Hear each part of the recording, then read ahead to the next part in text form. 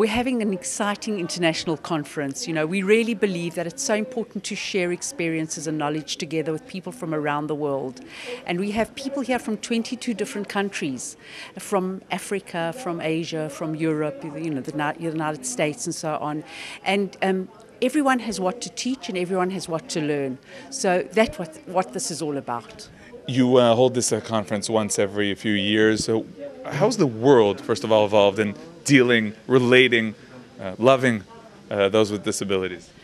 Well, I think that you know there was a milestone um, uh, uh, issue that ha- in the United Nations they passed the UN Convention on the Rights of People with Disabilities, and I think that this was a real milestone in the history of disabilities because all the countries together decided that there has to be a minimal net, net that safety net for all people uh, in society, and it got all the countries together to start talking and dialoguing about what what it does it mean to have equal rights and how do, how do we make that happen?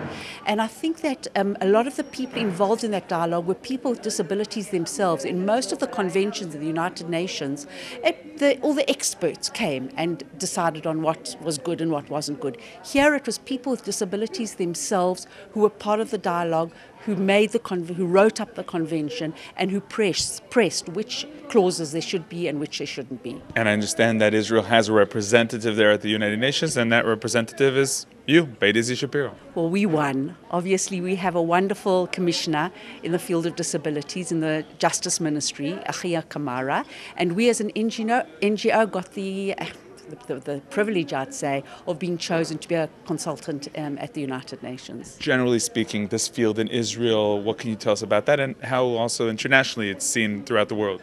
How Israel is seen. Well, I think, well, first of all, how I see Israel. Um, I think we've come a long way over the years, but we still have a long way to go.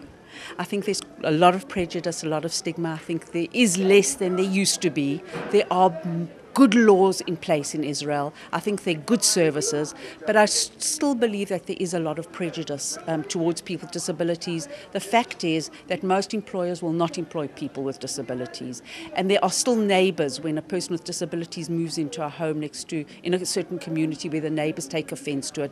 So I think that we really do have a long way to go. How do we compare to other countries? Well, you know, in some ways we're better and in some ways we're worse. It depends what you're talking about.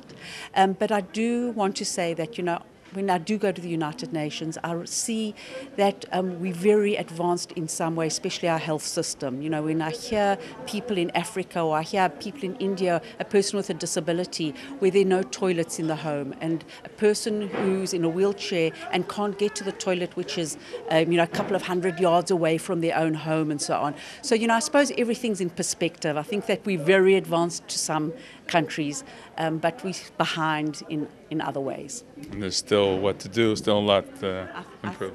I, I think there's a huge amount to do, and as I say, it's always the bottom line because poverty is one of the biggest problems for people with disability. And why? Because they're not having opportunities to be in the employment world. So I think in Israel we have a very far way to go.